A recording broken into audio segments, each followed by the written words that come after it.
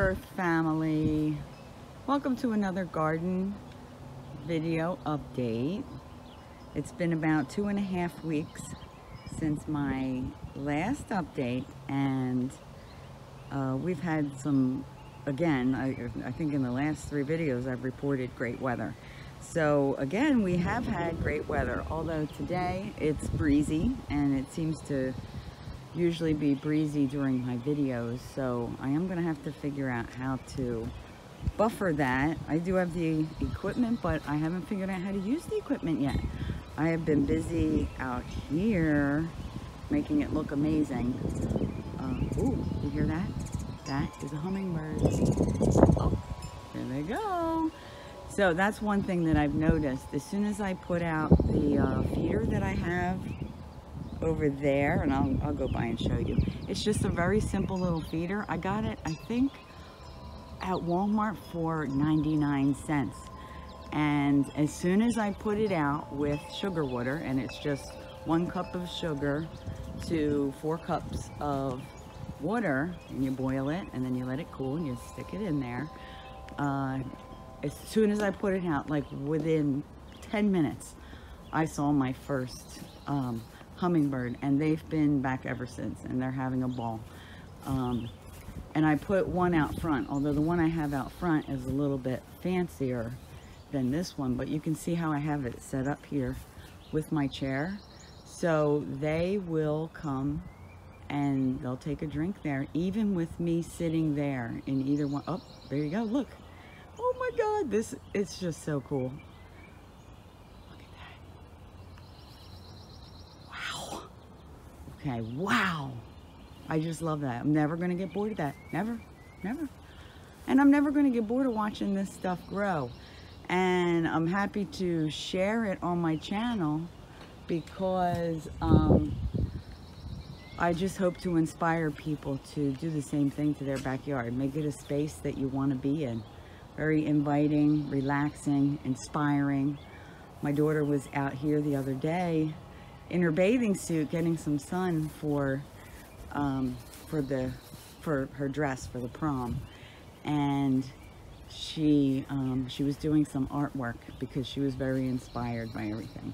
So I'm trying to record this video in high definition although they don't seem to upload in high def so I'm not sure if if you have the option to view things in standard definition or high definition but I'm going to try to keep this one short because I'm creating it in the highest definition that my um, this is just recorded on my iPhone so the highest definition that my iPhone will record so that you can really get a sense of the beauty out here. So I'll start at the gate and we have our um, rhododendron that's just beginning to bloom. Now I've had trouble with this. Um, looks like it's doing a little better, but it needed some nutrients and I've, I've fed the soil, did some research, we got some better stuff. So hopefully it'll make a comeback but I don't think it gets enough sun right here. Uh, I didn't know what I was doing when I first planted this. This was the very first thing I planted here. And I didn't know what I was doing. But uh, it, it's still growing and it looks beautiful. And uh, when all of those um, begin to open, you can see it will be gorgeous. And we got some phlox down there next to lemon balm. And everything is growing in really really nice, really well. Um, and I think in a large part due to the amount of water that I'm giving them. I water everything pretty much every day, um, especially when I know it's a little bit warmer than it should be this time of year for these plants. And they have enjoyed all the water that I've given them and the nutrients as well because everything looks amazing. Here we have evening primrose next to it um, valerian that is getting ready to get its flower. Now I put these here because both of these are going to get nice and tall. And then behind it is going to grow uh, morning glories and I've got peas and different things that I put in here. And then this also will get tall. It'll get beautiful flowers. So um, it'll give me some privacy to sit here. And then next to me, I'll have some beautiful things to look at. Behind me, I'm still not done taking out everything back here and getting it ready for the year because back here I have all my castor plants that I'm gonna plant. But I have a lot of stuff coming back that I need to relocate, like all of this evening primrose here. We have columbine. This columbine is different than this one, They're a different variety. And that's getting ready to bloom. And I've got butterfly weed right there getting ready to bloom. And then we've got some rogue, um, well, we've got rogue everything back here. We've got foxglove there. And I noticed uh, right here, this is the passion flower that reseeds itself everywhere. So we've got it growing there. So I've, in the past, I've tried to repot that um, and I haven't had success, but I'm going to keep trying because if you look back at my previous videos and you see how that has grown in, it's a beautiful plant and it does grow in this yard in abundance. Um, just like the foxglove prolifically reseeds itself. I haven't finished cleaning out this side yet, but I have, I had a foxglove over, here. well, probably one of these foxgloves possibly, or one that didn't come back. But you can see all these little seeds here. Um, not only are they foxglove, little baby foxgloves, but also little baby lemon balms. So um, I have a couple of people who have requested some lemon balm plants from me. So I'll be potting them up and I you can see here I have all this growth here. And then I also have an abundance of mint and I'm going to be uh, potting that up as well to give away because I have, like I said, um, a bunch of people who have requested it. So if you are someone who wants to trade plants or come and see this, um, I'm, I'm creating a library of plants that grow in this area and I'm doing a ton of research.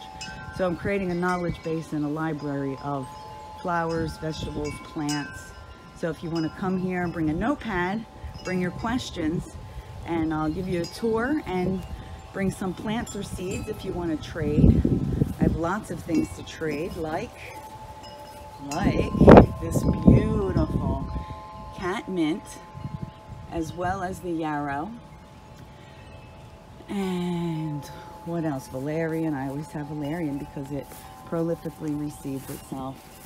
Same thing with chamomile. And they close down uh, at the when the sun goes down and they're just beginning to lift their flowers to open up a little bit better. But they are right at the harvesting stage so I'll be harvesting them and drying them out very soon. Actually today is going to be a harvest day and I have to finish with that area over there but you can see here finally finished digging out all the rocks from this area. And then I planted the things that are going into this bed which are eggplant and a bunch of varieties of tomatoes and peppers. And then uh, that's basil on the end there. And then you can see in this bed all the growth. Now look at that amazing growth since the last video we've got our collard greens in the front we've got garlic we've got kohlrabi right there. And the turnips. Now I haven't thinned them out yet. Again, I don't like to thin my stuff, but I do eat them as I thin. So I'll be picking some of them out just to eat whatever little kind of thing because they're pretty much good at any stage. Um, and then the same thing over here with the, the beets. And in between we've got lettuce. So I'm going to be harvesting some of that lettuce. So if you come here, I have a lot of lettuce a lot of greens, a lot of different kind of greens. Like this uh, Joi Choy, that seems to be a very good variety to grow in the spring. And I got that at one of my favorite gardening centers, which if you're in the area, either Dambly's or Bloomers, I love them. Um, I've been able to fill in a lot of areas with things um, because I just didn't have time to start the seeds this year like I have started in the past. And I've able I've been able to get everything that I, I want from either of those two places. and everything that I get there seems to be very healthy and grows well like the kohlrabi. Now I tried to grow that myself from seed, but I bought these from one of the gardening centers and they're doing very well here. So I'm very happy about that. Same thing with the choy. I've had to, I, I've grown choy myself here from seed and I haven't had any luck with it um, not going to seed too quickly. It'll sprout and flower almost immediately and that's kind of annoying. Now this version, it's just absolutely amazing. The leaves are really thick and delicious and healthy. Um, we love that. So you can see all the greens here are growing in really, really nice. And my dianthus, I can't wait now.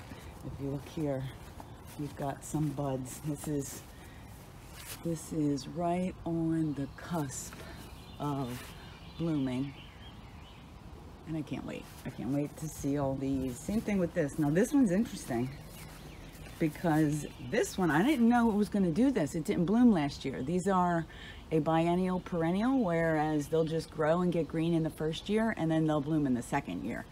So this one is very unique. Um, they're all different colors on on these um, these blooms.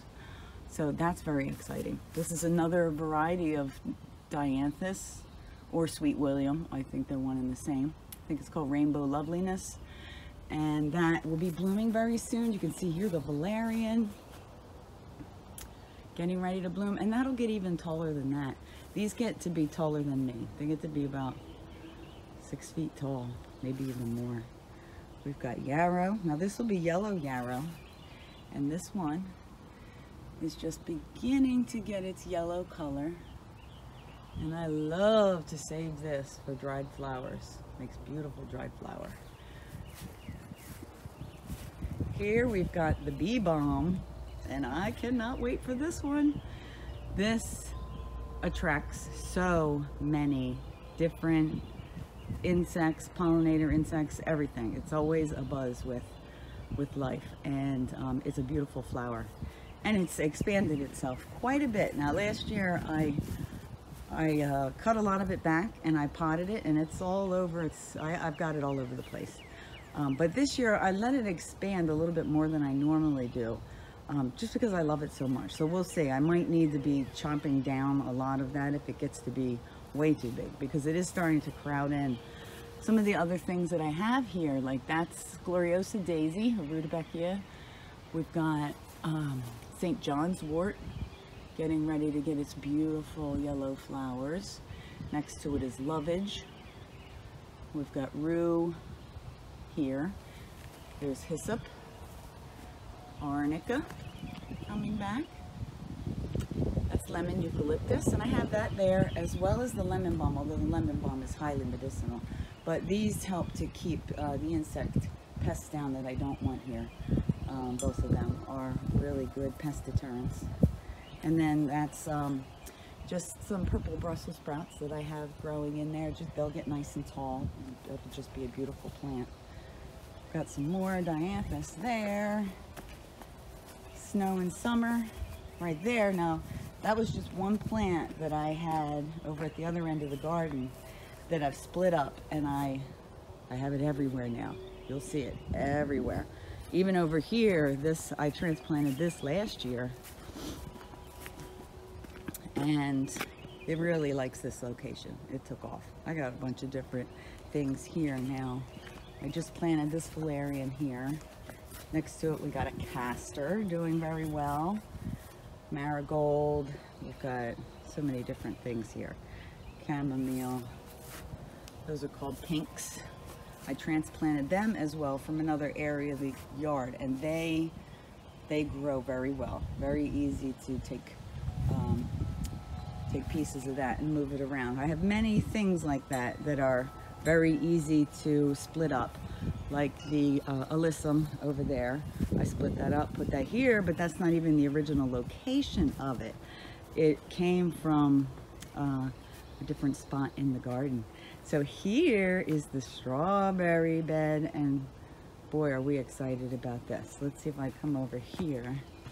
I can show you there's just so many strawberries.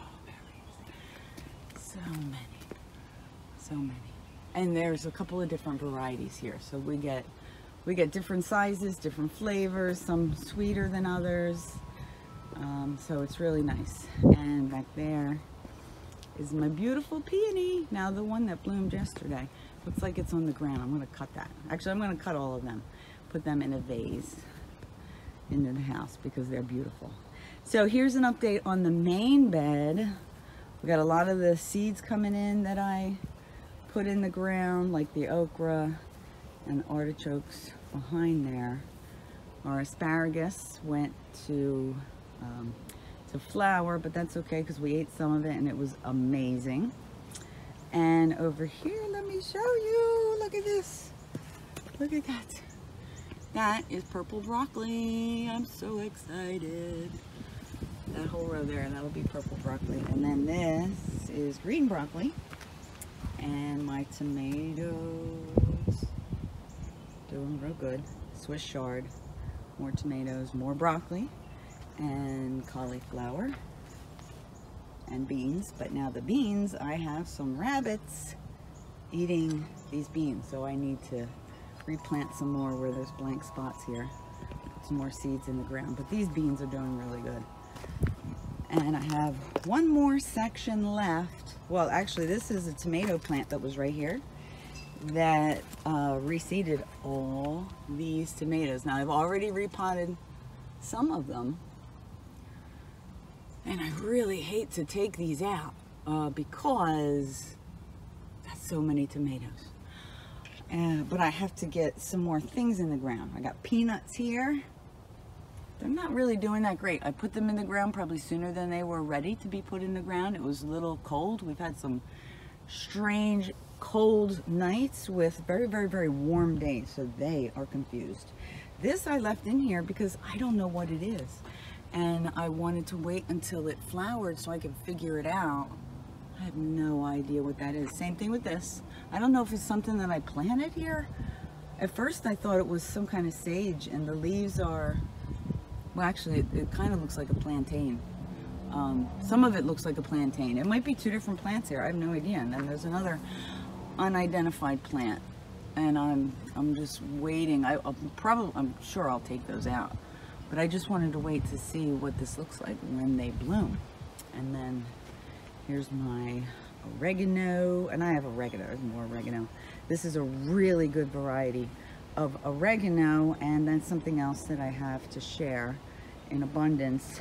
Um, same thing with the chamomile. Here's my chamomile farm, I call it, uh, where I had my original plant and it reseeded, and then I just take them from here when I need to move them around the yard, like there's another one there. And here's all the beans and the corn growing in real good.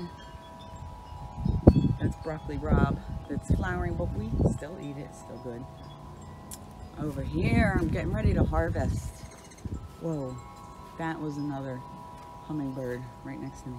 All right, I'm getting ready to harvest a lot of this because I have to make room for the next round of crops that I have. And um, I'll be just probably harvesting the whole thing. And I, I have a ton of it, so if you do come for a visit, I will share. And over here, so excited. These are gonna be blackberries. We planted them last year, and of course we didn't get any blackberries last year. So this will be our first year. And then um, I have to show you this because that's another um, variety of columbine. And it is absolutely beautiful. I think it's called a double. Uh, although I'm sure it has a specific name and I forget what it is. I'll have to look up what it is that I planted there, but it's just really beautiful. And over here I have, that, that's the elderberry bush that I wanted to put here. And we got an update on this over here. Oh, well, there's the peas. Look at the peas. I already ate one. It was a little early to be eating the peas, but, um, oh, sorry, I'm coming around here. But they, it was still really good. And I think there's getting to be quite a few. Wow, look at that. They're doing really good here. And then in the in there, I have all my radishes that I've been eating. And they're good to eat at any stage. So I thin them out as I eat them. And you can eat them either raw or cooked. They're very good. Let's see, should we go this way through the garden path? So you can sit here and eat your way around here. And then this side, well, over here we've got our blueberries. That one's doing really well.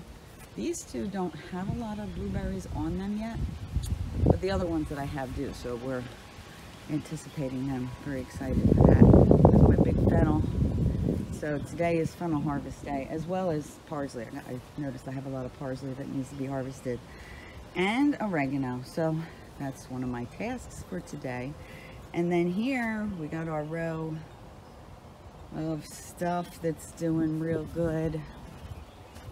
There's blueberries that are growing in a lot. Ooh, looks like we got one already that changed color. Look at that. And then we got more peas, more fennel, more valerian. And over here, this is a beautiful oregano plant. I gotta harvest some more of that before it flowers. It's getting ready to flower. Here we got Canterbury bells. This is beautiful. I can't wait until that blooms. So let's see, what else? I think I went all the way around. And of course my video is way too long. Gonna have to figure out something to do with this because YouTube may not let me upload a video this long. And my, yeah, it's gonna take up a lot of space. All right, well, I hope this video inspires you all to get out and get your hands dirty in the garden. Until the next video, I will see you then. Bye.